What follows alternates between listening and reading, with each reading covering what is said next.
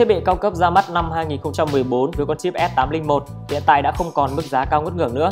Thay vào đó chỉ tầm từ 7 đến 8 triệu, chúng ta đã có thể sở hữu những siêu phẩm này. Hiện tại, người dùng đang phân vân nhiều nhất giữa hai thiết bị đó là Xperia Z2 và Vega Iron 2 bởi chúng đều có một phần cứng tương đồng, nhưng sự chênh lệch nhau về giá, nguồn hàng và những hỗ trợ kèm theo sẽ ảnh hưởng đến những quyết định của người dùng. Bản thân mình thấy Vega Iron 2 sẽ có nhiều lợi thế hơn. Và hôm nay, Digital sẽ gửi đến các bạn 5 lý do nên chọn mua sản phẩm này thay vì Xperia Z2. Các bạn đang theo dõi video tại D-Channel, kênh video công nghệ chính thức của di động thông minh. Các bạn có thể truy cập website di động thông minh.vn để tham khảo thêm những sản phẩm chất lượng tốt nhất. Lý do đầu tiên chính là Vega Iron 2 có một nguồn hàng dồi dào. Đây là một sản phẩm mới nhất, đầu bảng và chiến lược của Sky ở thời điểm hiện tại. Vì vậy, không ngạc nhiên khi có cả hai phiên bản, sách tay đến từ Hàn Quốc và phiên bản hàng chính hãng đang được phân phối tại Việt Nam. Vì vậy, cơ hội lựa chọn của người dùng là thoải mái hơn rất nhiều. Còn với Xperia Z2, nó không còn là thiết bị đầu bảng của Sony nên nguồn hàng cũng dần khan hiếm, dành chỗ cho Xperia Z3 hay Z3 Compact. Vì vậy, Z2 chính hãng các hệ thống lớn cũng đã bắt đầu dừng phân phối, nếu còn hàng cũng chỉ còn rất ít.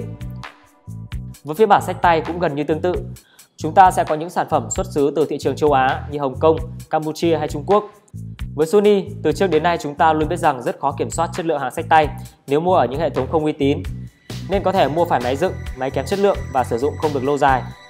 Như vậy, về nguồn hàng sẽ không thể dồi dào như Vega Iron 2. Các bạn sẽ phải cố gắng đợi đến khi có sản phẩm hoặc khi đi mua cũng sẽ mất nhiều thời gian để kiểm tra test máy hơn so với Vega Iron 2, đặc biệt là tính năng chống nước. Lý do thứ hai chính là Vega Iron 2 hiện đang có mức giá hấp dẫn hơn nhiều so với Xperia Z2, cả phiên bản sách tay và phiên bản chính hãng. Mặc dù cùng sở hữu phần cứng hiệu năng như nhau, những sản phẩm của Sony thì luôn có giá cao rất nhiều so với những thương hiệu khác. Cụ thể với Z2 chính hãng vẫn đang được bán với giá tới hơn 11 triệu đồng, thậm chí là gần 12 triệu đồng tại các siêu thị lớn. Trong khi với Vega Iron 2 cũng là hàng chính hãng nhưng chỉ có giá khoảng hơn 8 triệu một chút. Như vậy chênh lệch nhau tới hơn 3 triệu rõ ràng khiến người dùng phải cân nhắc. Còn với phiên bản sách tay đến từ Hàn Quốc, Vega Iron 2 cũng đang có giá chỉ khoảng 7 triệu rưỡi, trong khi với Z2 sách tay vẫn có giá khoảng hơn 8 triệu rưỡi và cũng chênh lệch nhau khoảng 1 triệu đồng. Chính vì sự chênh lệch về giá này cộng với không khác biệt nhiều về trải nghiệm, vì vậy tính kinh tế rõ ràng là một điểm cộng thứ hai cho Vega Iron 2. Yếu tố thứ ba chính là Vega Iron 2 được cung cấp đầy đủ phụ kiện. Đây luôn là điểm mạnh của những dòng sản phẩm đến từ Hàn Quốc. Cụ thể, cả phiên bản sách tay và hàng chính hãng, chúng ta sẽ đều có hai viên pin dung lượng cao, một đốc sạc rời để sạc pin phụ, một cáp kết nối micro USB, một củ sạc 5,3V 2A với khả năng sạc đồng thời hai thiết bị một tai nghe chuẩn của Pantech với chất lượng cao, thiết kế dây dẹt chống rối. Ngoài ra chúng ta sẽ có thêm một miếng dán màn hình và sách hướng dẫn sử dụng.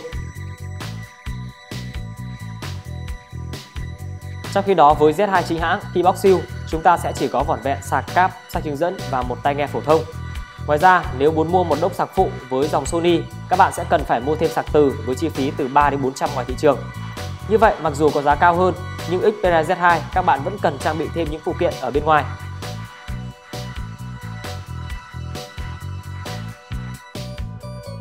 Yếu tố thứ tư chính là về thời lượng sử dụng pin của Vega Iron 2 ấn tượng hơn. Với Xperia Z2, nó sở hữu viên pin là 3200 mAh và không thể thay thế, còn Iron 2 là 3220 mAh có thể tháo rời. Mặc dù sở hữu thông số khá tương đồng nhau, nhưng sự khác biệt đến từ việc Iron 2 được trang bị màn hình Super AMOLED với những gam màu đen gần như được tắt hoàn toàn sẽ tiết kiệm pin hơn so với Z2 với màn hình LCD cùng tấm nền IPS Sản phẩm này có độ sáng và độ tương phản rất cao cùng một loạt những tính năng trang bị để hiển thị đẹp hơn nên nó cũng sẽ tốn khá nhiều năng lượng. Cụ thể với cường độ sáng màn hình và âm lượng để mức cao nhất thì Z2 có thể phát video trực tuyến gần 7 tiếng, lướt web online 6 tiếng và chơi game khủng gần 4 tiếng rưỡi. Trong khi đó của Vega Iron 2 là xem video tới hơn 8 tiếng, lướt web 7 tiếng rưỡi và chơi game đồ họa khủng là 5 tiếng. Ngoài ra việc hỗ trợ hai pin có thể thay thế sẽ giúp thời lượng sử dụng của Vega Iron 2 càng vượt trội hơn. Và yếu tố cuối cùng chính là khả năng chụp ảnh tự động. Thực ra đây là một lý do nhỏ. Ở mặt này thực ra Iron 2 không hoàn toàn lợi thế so với Z2. Về máy ảnh thì rõ ràng khó có thiết bị nào vượt mặt được Sony với số chấm lên tới 20,7 megapixel cùng thấu kính Zelen cao cấp cùng một loạt những trang bị những tính năng chụp ảnh độc đáo. Nhưng với những người mới tiếp cận chụp ảnh trên Android sẽ rất khó để điều chỉnh những thông số chuyên sâu này. Cho nên việc chụp ảnh chọn chế độ tự động gần như sẽ được mọi người sử dụng ở mặt này với Xperia Z2 thì máy sẽ tự chuyển về chế độ tự động cao cấp để điều chỉnh các thông số sao cho phù hợp với môi trường. Nhưng nhược điểm chính là độ phân giải sẽ giảm, không còn được 20,7 megapixel nữa. Ngoài ra khả năng bắt nét cũng giảm đáng kể, đôi khi hình ảnh chụp ra không đúng ý của người dùng. Trong khi với chế độ tự động thì Iron 2 với tính năng chống rung quang học OIS mới cho khả năng bắt nét cực nhanh, camera chính lên tới 13 megapixel thì người dùng có thể dễ dàng chụp được một bức hình ưng ý với độ chi tiết cao. Xét chi tiết thì Iron 2 có thể thua kém so với camera của Z2, nhưng độ dễ dùng với những người bắt đầu thì mình lại đánh giá cao hơn. Như vậy trên đây chính là 5 lý do mình muốn tư vấn cho các bạn đang phân vân. Vega Iron 2 theo mình đánh giá có nhiều lợi thế để lựa chọn.